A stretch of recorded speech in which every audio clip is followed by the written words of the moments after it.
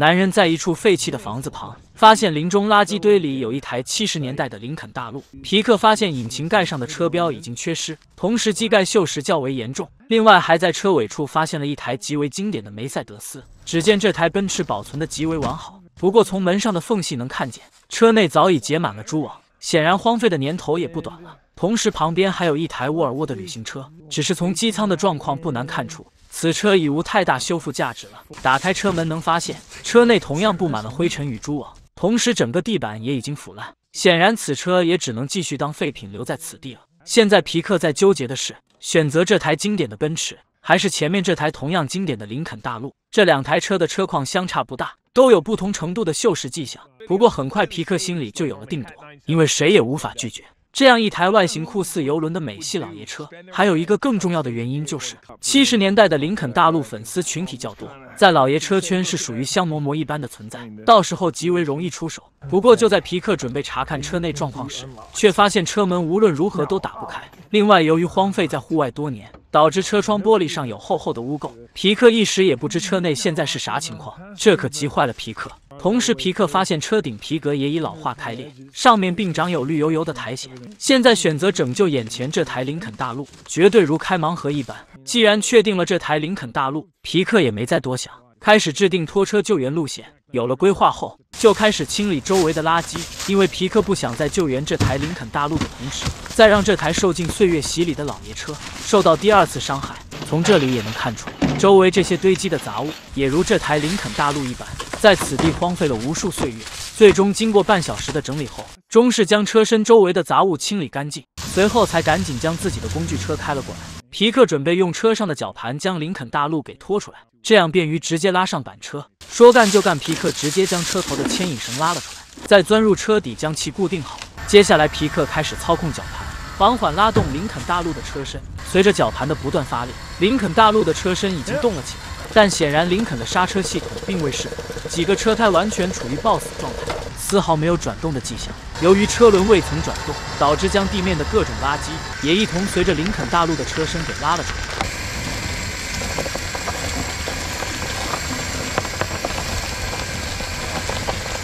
当拉出停放地后，才将工具收拾起来放入车内。因为皮克觉得绞盘的工作效率太低了，准备直接换上动力绳，将林肯大陆拉到开阔的地方。随着一脚油门的踩下，林肯大陆的车身快速移动了起来。不得不承认，这工作效率确实要比绞盘高出很多。现在这个较为宽敞的场地，就便于板车的装车了。第二天一大早，皮克就拖着板车再次来到此地，将车找好角度后，就开始将板车给放了下来，然后第一时间将缆绳固定在林肯大陆底盘下。这里由于林肯大陆的车胎卡死，皮克只能尝试将板车尽量伸进林肯大陆底盘下方。以此来抬高林肯车身，这样能减轻救援难度，最终连带着将地上的落叶也一同给拉上了板车。皮克尝试将底盘下的垃圾取出，然而却被林肯大陆给压得死死的，只能拿出千斤顶将车身尽量抬高，这样才让的底盘下的木板有了松动。皮克眼疾手快，赶紧将木板给取了出来，然后才再次将车身抬高，将板车上的泥土落叶用铲子清理干净，因为这玩意要是带上路，绝对会成为警察叔叔的重点照顾对象。大致清理后，皮克又开始拆卸车尾的排气管。经过一阵反复折腾，才顺利将排气管道给拆了下来。剩下的工作就简单很多了，将板车上的林肯车身摆正，然后再适当进行加固一番即可。那么这台荒废多年的林肯大陆拯救工作就彻底结束了。接下来就是该开启返程之旅了。经过大半天的赶路，总算是将这台荒废多年的林肯大陆给拖了回来。回到院子的第一件事就是全车来个大清洗，将车身上荒废多年留下的污垢冲洗。当第二天起床，才发现外面已是白雪皑皑，显然在室外进行检修是不可能了，只能将车身覆盖的白雪简单处理后，转移到室内进行检修。这里有绞盘的加入，让的卸车变得轻松了许多。没费啥功夫，就将林肯大陆给拉进了车间。待车身白雪融化后，皮克第一时间用举升机将林肯大陆抬高。现在能看到整个底盘也生满了锈斑。这种情况就是常年处在潮湿环境中造成的。另外，车胎也已完全塌陷变形。唯一的好消息是，轮毂并未被卡死。当检查底盘时，皮克发现散热器支架已被铁锈严重腐蚀，显然是不能再次利用了，得将其拆除更换掉才行。同时，皮克经过检查发现，这应该是一台七七到七九款的林肯大陆。只是现在唯一不确定的是，这到底是林肯大陆四六零还是四零零？随后在检查发动机皮带时，可以看到，由于荒废多年，导致发动机皮带已老化极为严重，能否转动现在还是个未知数。底盘下的机油滤芯也是同样如此，入眼所见之处均是不同程度的锈斑。另外，在检查时还发现了一个严重的问题，就是地板上已被锈蚀出了一个极大的孔洞。很难想象这台林肯大陆到底荒废了多少年，才会造成如此惨烈的锈蚀。当来到车尾时，也发现油箱也有泄漏的迹象，同样也因为锈蚀的原因，导致油箱固定支架随时都有脱落的可能。这也亏得皮克救援及时，不然再荒废个两三年时间，这台经典的林肯大陆绝对会变成一堆废铁。查看完底盘状况后，皮克将林肯大陆放下了举升机，然后开始尝试将车窗玻璃打开。这里由于没有这台林肯大陆的车钥匙，只能采用一些非常规方式来完成。可经过一番折腾下来，还是未能将车门成功打开。于是皮克再次拿出一根绳子，快速打上绳结，然后再将打上的绳结固定在车门锁杆上。最终经过一番努力，皮克才成功将多年未曾打开的车门打开了。顿时车内一股浓烈的气息扑面而来，让的皮克脑回路直冲天灵盖。适应了几秒钟后，才再次靠近驾驶室。只见主驾座椅上有杰瑞留下的痕迹，同时车门也满是霉菌与蛛网。显然，后期车内的整备绝对是一个大工程。由于现在主要的任务是确定机舱状况，所以驾驶室内皮克暂时没有精力准备，拿着钳子就开始释放引擎盖。经过一阵连拉带锤下，总算是让紧闭的引擎盖有了松动，然后才趁此机会一鼓作气将引擎盖给打开。从这里也能看到，打开这引擎盖是何等困难。要是没有一双麒麟臂，简直是万万无法做到。同样，打开后的引擎盖也是让人无法想象的。只见机盖内也有杰瑞生活的痕迹。不过万幸的是，机舱内并未受到杰瑞太大的祸害。在检查机舱时，皮克发现发动机上的标签显示，这是一台四六零系列的发动机。这让的皮克觉得这一切努力都是值得的。随后就是化油器的检查，将锈蚀严重的空滤打开，发现里面的化油器成色还算上佳。当来到机舱电瓶处时，就没那么幸运了。不过这也在皮克的意料之中。看着机舱内满是锈块与泥土，皮克只能停下手头的工作，只能先将机舱内的清洁做了再说。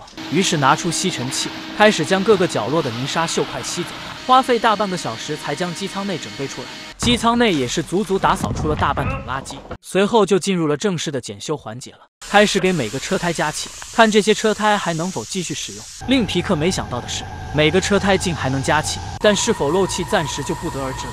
接着来到机舱检查化油器连杆，发现虽然荒废多年，但化油器连杆依然还能正常使用。同时检查动力转向液时，发现里面同样还有少量的动力转向液存在。接下来就是散热水箱，打开盖子后发现里面早已干涸。随后就是量油尺的检查，从尺间不难看出，同样有机油的存在，只是从颜色来看，显然无法继续使用了。最令人惊喜的是刹车油壶。只见将盖子打开后，里面还有充足的刹车油存在。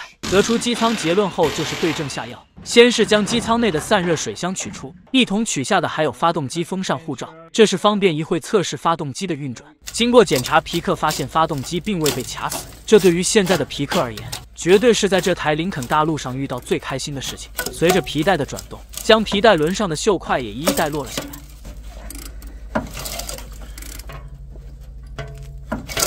竟然确定发动机并未卡死后，皮克赶紧将原车的电瓶拆了下来，第一时间接上新电瓶开始尝试。机舱内的发动机竟奇迹般运转了起来，可就是无法成功启动。皮特猜测问题应该出在了点火线圈与分电器上，可经过查看点火装置，并未找到问题根源。那么问题就出在了这些线束上。于是皮克拿出新的线束连接上，同时还连接了一个燃油瓶。为了启动方式更加便捷。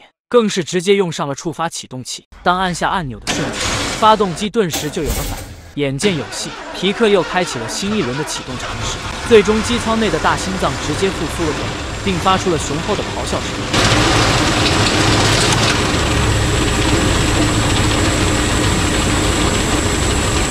可这次发动机运行的时间并不长，不过有了经验的皮克再次启动就简单许多。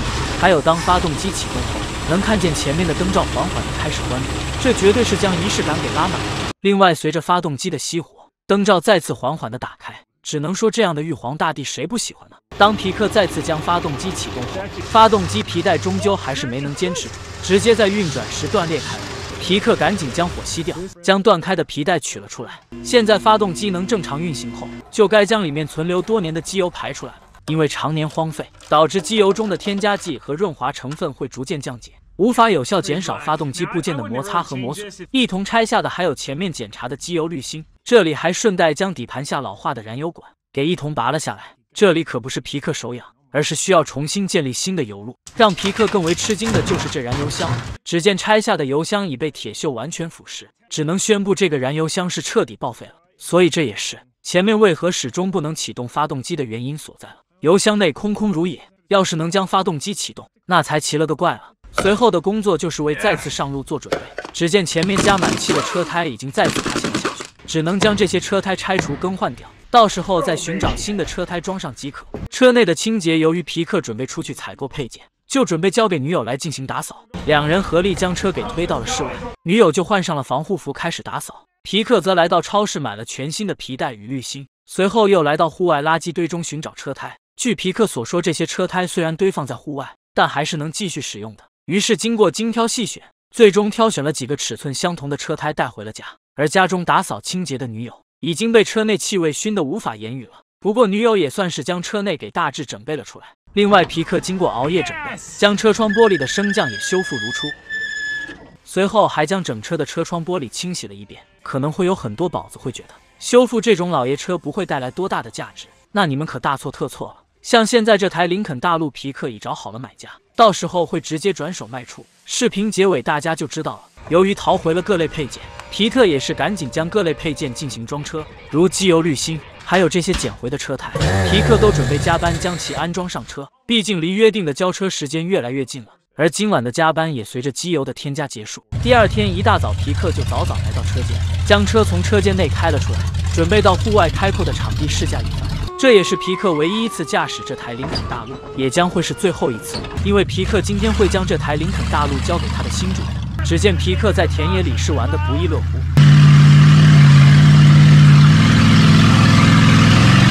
玩了整整一天后。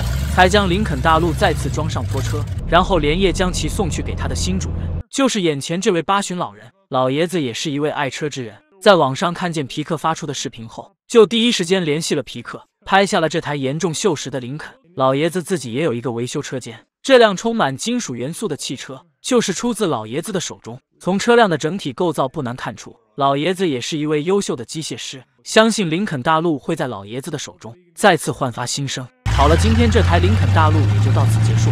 铁子们对此有啥不一样的见解？可在评论区交流讨论。